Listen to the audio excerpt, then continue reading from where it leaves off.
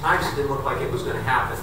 But at the end of the day, we got 314 members of the House of Representatives, actually a few more Democrats than Republicans, uh, to agree to that debt limit resolution. It tells me that, again, it shouldn't have to be that way, but there are times when we work together, we can still do big things in the United States of America, and our democracy is still functional. For anybody out there, China or Russia or anyone who would rather autocracy uh, be the stronger force in the world, I think it was a reminder that democracy is still uh, able to function. When I took office, we had no plan B.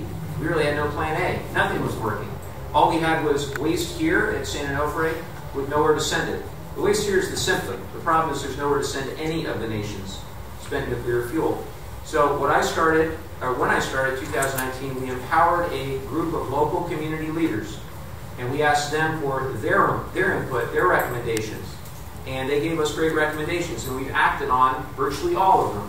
One was to engage with a new group of members across the aisle, Republicans and Democrats in Congress, to engage on spent nuclear fuel. We started the Spent Nuclear Fuel Caucus because a lot of people that were involved in the policies originally are no longer in Congress.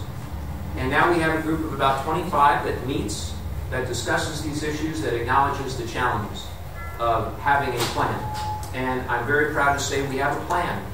Another recommendation was to look at best practices internationally, places like Finland and Canada and elsewhere where they've been able to actually get stuff done when it comes to figuring out uh, a storage site or multiple sites. 11.6 million we got a couple years ago to stabilize the current plus situation.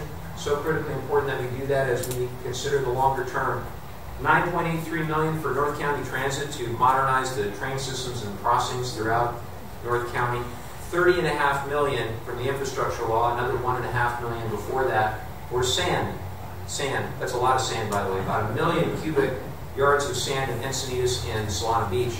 Critically important that we do that and that we have a long-term plan. And we were able to, to now have in place a 50-year sand replenishment plan with the Army Corps of Engineers, both for Encinitas and Solana Beach, and up in San Clemente as well. Because if we want our rail corridor to be functional, you're only as strong as your weakest links. Right now, the weakest links are here in Del Mar and up in San Clemente. You've been following what's happening up there.